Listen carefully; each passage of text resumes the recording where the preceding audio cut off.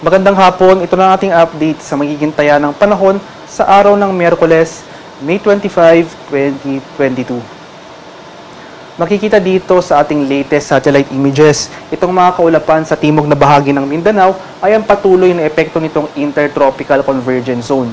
Kaya naman simula mamayang gabi hanggang bukas sa madaling araw ay inaasahan natin na magpapatuloy itong maulap na kalangitan na may kalat-kalat na pag-ulan, pagkulog at pagkidlat na dala nitong ITCZ dito sa Davao Region.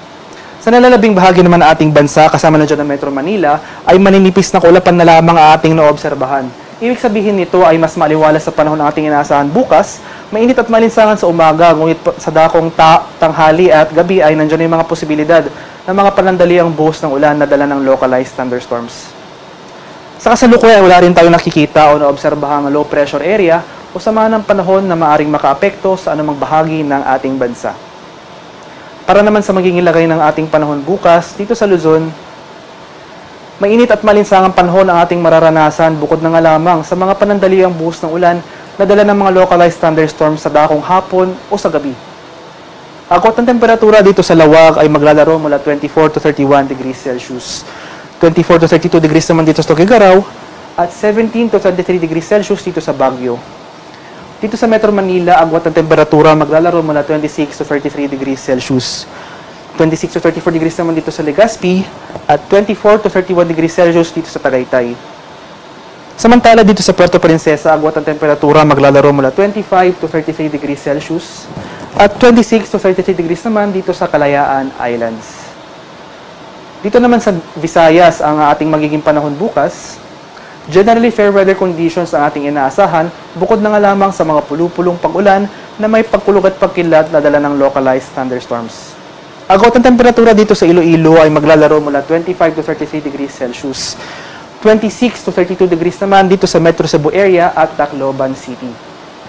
Dito sa Mindanao, maliit na lamang yung mga tsansa ng pag-ulan na ating inaasahan. So mainit at malinsangang panahon ang ating ah, inaasahan bukod na nga lamang sa mga panandaliang buhos ng ulan na dala ng localized thunderstorms. Agot ang temperatura dito sa Cagayan de Oro maglalaro mula 26 to 31 degrees Celsius. 24 to 30 degrees naman dito sa Davao at 25 to 32 degrees Celsius dito sa Zamboanga. Para naman sa kalagayan ng ating karagatan, banayad hanggang sa katamtamang pag-alon ang inaasahan natin sa mga baybaying dagat sa malaking bahagi ng ating bansa.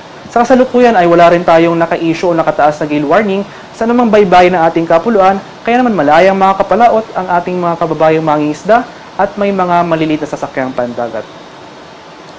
Para naman sa ating 3D Extended Weather Outlook, dito sa Metro Manila, mainit at malinsangang panahon ang ating inaasahan, bukod na nga lamang sa mga tsansa ng pag-ulan na dala ng localized thunderstorms sa dakong hapon o sa gabi.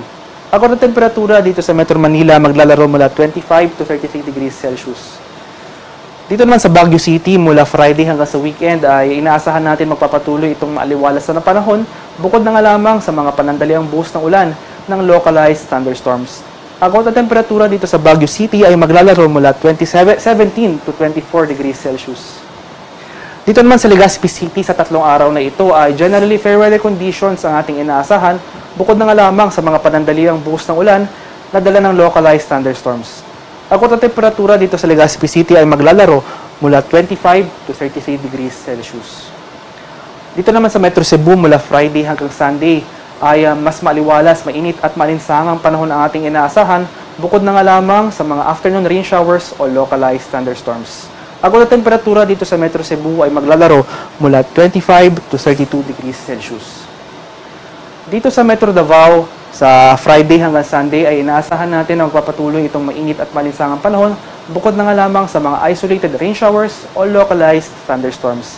Agad na temperatura dito sa Metro Davao ay maglalaro mula 25 to 32 degrees Celsius. Ang haring araw dito sa Kamaynilaan ay lulubog sa ng 6.20 ng gabi at sisikat naman bukas sa ganap na 5.26 ng umaga. Para sa karagdagang impormasyon tungkol sa ulat panahon, lalong-lalo na sa ating mga thunderstorm advisories, ay i-follow kami sa aming Facebook at Twitter accounts at DOST underscore pag-asa. Mag-subscribe rin kayo sa aming YouTube channel sa DOST Pag-asa Weather Report at bisitahin ang aming website sa bagong.pag-asa.dost.gov.ph. At yun naman po ang latest mula dito sa Pag-asa Weather Forecasting Center. Magandang hapon po sa ating lahat. Ako po si Dan Villamil, nag-uulat.